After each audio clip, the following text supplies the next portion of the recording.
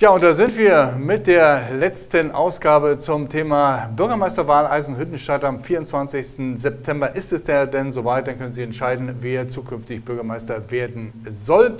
Im Studio Frank Balzer, er ist der Bürgermeisterkandidat, äh, gemeinsam noch mit zwei anderen, die allerdings äh, unterschiedlich auf Sendung waren. Ähm, wir haben im vierten Komplex dann die Beantwortung der User-Facebook-Fragen und auch der E-Mail-Accounts, die wir hier eingerichtet hatten. Und da kam so ein bisschen was zusammen zum Thema Eisenhüttenstadt. Frau Walter, willkommen im Studio. Ja, herzlichen Dank für die Einladung. Ja, die User haben einige Fragen gestellt. Wollen wir mal loslegen, oder? Ja, gern. Ja. Bin ich schon gespannt. Also, Marco Rösler. In Hütte wird ja viel renoviert und nur leider haben wir noch einen Schandfleck, das Lunig kann man nicht irgendwas mit daraus machen. Was würde denn Frank Balzer machen, wenn er Bürgermeister wird? Ja, als erstes würde ich äh, ein Gespräch suchen mit dem Eigentümer, was natürlich die Voraussetzung ist, äh, um zu hören, was er für die Zukunft vorhat. Natürlich gibt es auch von mir Ideen in der Richtung und im Rahmen meiner letzten Veranstaltung, die ich hier durchgeführt habe, kamen einige Vorschläge, beispielsweise ein Reha-Zentrum, ein Ärztehaus, was man entsprechend dort implementieren kann. Natürlich muss man das mit anderen Partnern abstimmen. Aber ich denke, die Möglichkeiten gibt es und wir sollten nicht allzu lange warten nach der Bürgermeisterwahl, dass wir das relativ schnell angehen.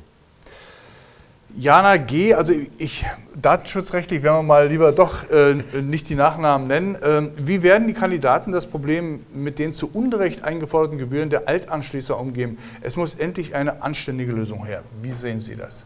Also ich hatte mich ja auch mit anderen Stadtverordneten überwiegend dazu schon positioniert, dass die Alternschließer entsprechend der Beschlusslage des Bundesverfassungsgerichts auch entsprechend entschädigt werden. Und sollte ich wirklich Bürgermeister werden, werde ich dieses Thema wieder auf die Agenda setzen, um entsprechend im THZV das Thema nochmal anzusprechen. Dann haben wir noch eine weitere Frage hinsichtlich äh, der Kinder unserer Stadt. Was gedenken die Kandidaten für die Förderung der Kinder unserer Stadt zu tun? Modernisierung der Einrichtungen, Bereitstellung von Lernmitteln, Förderung der Vereine und so weiter. Das ist ein sehr großer Komplex. Äh, wie gesagt, Bildung ist das A und O für uns und ich habe auch gesagt, dass Bildung kostenlos sein muss für die Zukunft. Wir müssen unsere jungen Leute hier entsprechend ausbilden und qualifizieren, dass sie auch hier bleiben. Und da geht es in der Kita los. Ich hatte vorgeschlagen, dass wir entsprechend in der Versorgung, Essensversorgung dort noch weiter vorankommen müssen. Wir haben als Stadtverordnete schon die Gebühren entsprechend gesenkt, dass entsprechend nicht nur, sag mal, nach dem Geldbeutel der Eltern die Kinder betreut werden, sondern auch kostenlos. Des Weiteren äh, bin ich im Gespräch gewesen in den letzten Wochen mit Sportvereinen, mit Kulturvereinen, um dort auszuloten, welche Möglichkeiten es gibt. Und da haben wir natürlich eine ganze Menge äh, zu tun auch in den sag mal, Mitteln, die zu, bereitzustellen sind. Wir haben als SPD-Fraktion einen Antrag eingereicht, um die Grundschulen zu verbessern, die technische Ausstattung äh, dort zu verbessern. Der ist auch durchgekommen. Der wurde leider beim ersten Mal von der Bürgermeisterin beanstandet, aber in diesem Jahr erstaunlicherweise ist er dann von allen Seiten entsprechend positiv beschieden worden und wir haben dort schon den richtigen Weg äh, in die Richtung, dass wir unsere Grundschulen verbessert ausstatten können. Dann kam die Frage, die Geh- und Radwege in unserer Stadt sind vor allem Ortsteil Fürstenberg katastrophal. Mit einem Rollstuhl vom Altenheim Seeberge in Richtung Königstraße zu fahren ist unmöglich. Gibt es Pläne, dies in naher Zukunft zu ändern? Das sind also ganz spezielle Fragen. Konkret, das ne? finde ich auch richtig ja. und ich war auch dort vor Ort äh, bei der, bei der AWO-Stätte für Senioren, um zu schauen, wie das da aussieht. Natürlich muss man sich mit den äh, äh, Anliegern dort verständigen weil so ein grundhafter Ausbau, ein richtiger Ausbau kostet Geld und da muss man sicherlich schauen, wie entsprechend die Anlieger belastet werden. Aber ich denke, das ist ein wichtiges Thema, auch nicht nur in Fürstenberg, sondern auch in der Stadt. Es gibt schon äh, im Rahmen der Prioritätenliste einige Mittel, die bereitgestellt werden für die äh, Verbesserung der Straßen und Gehwege und ich denke mal, da müssen wir noch viel mehr investieren. Mirko N. fragt, wie wollen Sie die Jugend und äh, die Vereinsarbeit wieder zusammenbringen? Jeder Verein braucht einen Ort, wo er wirken kann und durch den angesetzten Rotstift ist dies in Schieflage geraten. Also es geht immer wieder auch um die Jugend in dieser ja. Stadt. Wie ist da ja, die? Ich hatte letzte Woche ja ein Jugendforum in Schleichers für 15- bis 18-jährige Jugendliche der Stadt, die entsprechend aufgrund mal, in unserer Intention sich selbst mal Ideen geben konnten, wie sie die zukünftige Stadt äh, entwickeln wollen und was für Ideen es da gibt. Die haben wir aufgenommen, die werden wir entsprechend auch publizieren. Wichtig für mich ist natürlich, dass eine Ausgewogenheit der Vereine äh, da ist, in der freiwilligen Förderung natürlich. Äh, momentan ist ja die Kultur etwas, sag mal, stärker ausgeprägt und ich bin natürlich bereit, auch äh, für die Sportförderung entsprechend da Unterstützung zu geben, um den Kindern wirklich nach der Schule eine Freizeitgestaltung zu geben. Natürlich ist nicht nur die Vereinsarbeit wichtig, auch die offene Freizeitgestaltung. Wir haben eine ganze Reihe engagierter sozialer Träger für die Jugendhilfe und entsprechend die sind auch mit einzubinden, damit wir wirklich ein breites Angebot unseren Kindern und Jugendlichen geben können. Äh, Dennis B., was möge der Kandidat für die Stadt ändern, dass die Stadt wieder interessanter für Jung und Alt werden? Gut, war schon ähnlich wie die Ähnlich, die aber das Frage. sind ja, wir, wir arbeiten ja die Fragen genau, ab, die, die und ich kann das nochmal bekräftigen. Und deshalb finde ich auch wichtig, dass man gerade für äh, die Fragen Jung und Alt gibt. Und ich hatte auch am Donnerstag für die älteren Mitbürger der Stadt eine Veranstaltung Mobil und Sicher, was natürlich ein ganz wichtiges Thema ist. Da spielt wieder die Straßen- und Gehwege eine Rolle, auch die Mobilität in der Stadt. Da gab es zum Beispiel die Frage, kann man denn entsprechend die Buslinien anders gestalten, um von A nach B etwas schneller zu kommen und nicht eine Weltreise durch Eisenhüttenstadt zu machen, wenn man um 18 Uhr vom Bahnhof kommt. Und ich denke, da haben wir eine Menge Potenzial, aber auch Aufgaben, die entsprechend zu lösen sind.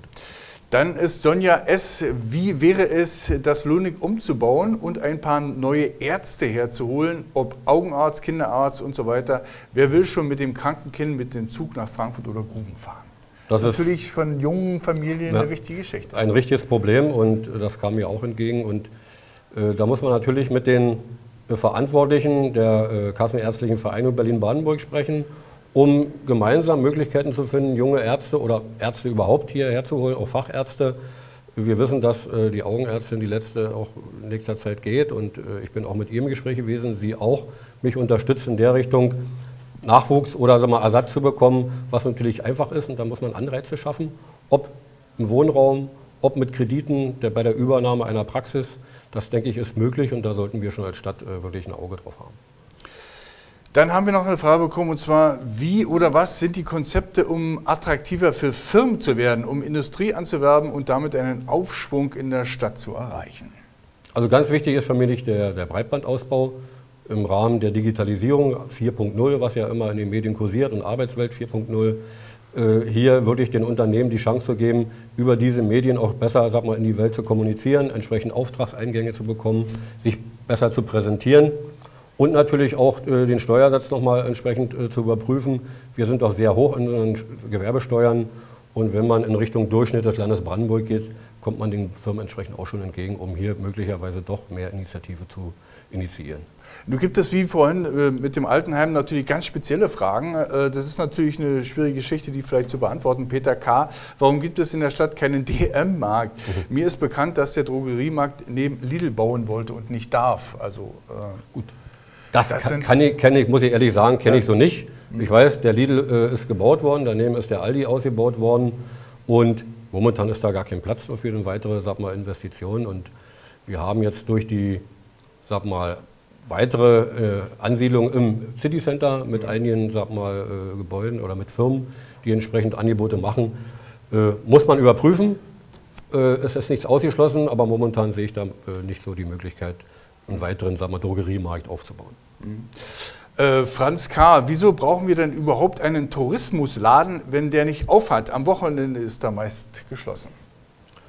Ja, ich hatte ja schon. Also in Tourismusladen meinte sicherlich. Ja, Im Tourismusverein in der Lindenallee. Tor, ne? also genau, und äh, ich hatte ja in einer der vorangegangenen Sendungen schon gesagt, dass ich äh, die Tourismusaktivitäten wieder in die Stadtverwaltung hineinbringen möchte. Im Rahmen der Wirtschaftsförderung und Stadtmarketing ist es ein wichtiges Thema. Und dann kann man natürlich mit mehr Personal auch entsprechend das abdecken. Und er hat recht, Tourismus muss von Montag bis Sonntag natürlich gestaltet werden. Braucht man natürlich Personal und das ist natürlich dann abzuklären. Dann haben wir eine weitere Frage, so langsam kommen wir glücklicherweise zum Ende. Warum sehen die Gehwege in Fürstenberg so ungepflegt aus? Das sieht überall aus wie blühende Landschaften. Ja. Ist äh, tatsächlich äh, ein Thema. Also ich kann es bestätigen. Das ist nicht nur in Fürstenberg so, das ist richtig. Und dann muss natürlich die, müssen die Verantwortlichen dann gemeinsam mit den Auftragnehmern reden, die entsprechend dann mal durch die Stadt gehen und das entsprechend befrieden. Wir haben natürlich das Problem, dass viele Flächen zurückgenommen wurden, auch als Parkflächen, und diese genauso, sag mal, unerträglich aussehen. Und da muss natürlich relativ schnell gehandelt werden. Das ist natürlich, ein, wenn Gäste kommen wie zum Tor ja. und überall ja. sprichst es aus den Gehwegen raus. Ne? Man kann es auch gepflegt äh, darstellen und wie gesagt, äh, ist etwas Geld in Hand also zu nehmen. Ist ein Thema, ja? Ist ein Thema natürlich, weil das Stadtbild, wenn Gäste kommen, wie Sie sagen, und, und sehen dann irgendwie Ecken, die nicht so attraktiv sind, dann sagen sie, was ist denn hier los? die letzte Frage geht äh, an die Alten und zwar, warum soll auf dem zentralen Platz ein Altenheim gebaut werden? Es gibt doch genug andere Orte, wo man ein altes Altersheim bauen kann, wo es für die Alten ruhiger ist. Gebe ich recht. Äh, der zentrale Platz ist ja im Rahmen einer Neujahrsempfangsaussage getätigt worden. Äh, die Stadtverordneten äh, kannten das vorher nicht so. Und ich sage auch, es gibt einige Objekte, auch städtische Objekte, die möglicherweise dafür genutzt werden können. Die muss man sich anschauen und dann natürlich gucken, wie weit da entsprechend finanzielle Mittel notwendig sind, um dieses zu gestalten oder ob es wirklich ein Neubau sein muss. Weil ich sage mal, wenn man saniert, ist natürlich auch mehr Geld in der Hand zu nehmen aufgrund der Auflagen, die es gibt. Und es gibt ja äh, das neue Gesetz, wo gesagt wird, dass es nur noch Einzelzimmer geben soll in Altenheimen. Momentan im städtischen Alterheim sind ja noch Doppelzimmer. Und das muss man entsprechend auch nachprüfen. Äh, okay, das waren, äh, liebe Zuschauer, Ihre Fragen zu den äh, Bürgermeisterkandidaten. Wir sind jetzt so komplexmäßig alles äh, durchgegangen. Danke nochmal an all diejenigen, die Fragen gestellt haben und danke an die Beantwortung von Frank Balzer. Er stellt sich äh, zur Bürgermeisterwahl am 24. September gemeinsam mit der Bundestagswahl. Ne? Also zwei ja, große ja. Wahlen hier für Eisenhüttenstadt. Ja. Und äh, ja, es wird spannend. Und äh, wir sehen uns dann am 18. September zur Konfrontation der Bürgermeisterkandidaten hier im Oder-Spree-Fernsehen. Wenn es ausgestrahlt wird, klar, so circa gegen halb am 18.